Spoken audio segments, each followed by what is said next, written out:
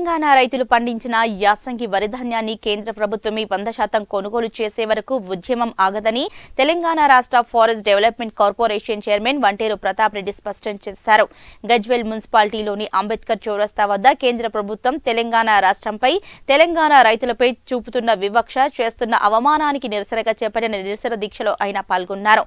వంటేరు ప్రతాప్ రెడ్డి ఈ సందర్భంగా మాట్లాడుతూ కేంద్రంలోని బీజేపీ ప్రభుత్వం తెలంగాణ రాష్ట్రంపై కక్షపూరిత ధోరణితో వ్యవహరించడం సరికాదని ఆరోపించారు. ఇరవై నాలుగు గంటలు ఉచితమైన నాణ్యమైన కరెంటు రైతులకు అందించిన గొప్ప నాయకుడు మన కేసీఆర్. కేంద్ర ప్రభుత్వము పక్షపాత ధోరణితోటి కక్షపూరితంగా తెలంగాణ ప్రభుత్వాన్ని అస్థిరపాలు చేయాలనే ఒక దురుద్దేశంతో రాజకీయ లబ్ధి కోసము నానా ఇబ్బందులు పెడుతుంది. ఈ రాష్ట్రంలో ఉన్నటువంటి పొలిటికల్ పార్టీలన్నీ కూడా జై తెలంగాణని తెలంగాణ రాష్ట్రాన్ని ఏ విధంగా సాధించుకున్నామో ఈ రాష్ట్రంలో ఉండే ప్రతి నాయకుడు కూడా ప్రతి రైతు కూడా ఇలా టిఆర్ఎస్ వెంట నడవాలి. కేసీఆర్ వెంట నడవాలి. కేసీఆర్కి వెన్నుదన్నుగా నిలవాలి. ఈ రాష్ట్రాన్ని కాపాడుకోవాలి. ఈ రాష్ట్రంలో ఉన్నటువంటి రైతాంగాన్ని కాపాడుకోవాల్సినటువంటి బాధ్యత తెలంగాణ బిడ్డల మీద ఉంది.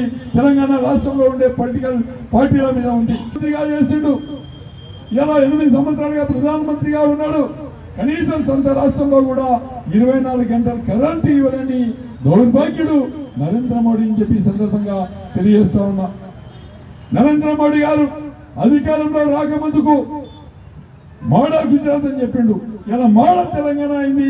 తెలంగాణ మోడల్ రాష్ట్రంలో ఎన్నో రిఫార్మ్స్ తెచ్చి ఈరోజు అఖండ భారతావన్లో తెలంగాణ రాష్ట్రం నంబర్ వన్ రాష్ట్రంగా తీర్చిదిద్దినటువంటి ఘనత మన తెలంగాణ రాష్ట్ర రథసారథి తెలంగాణ జాతిపిత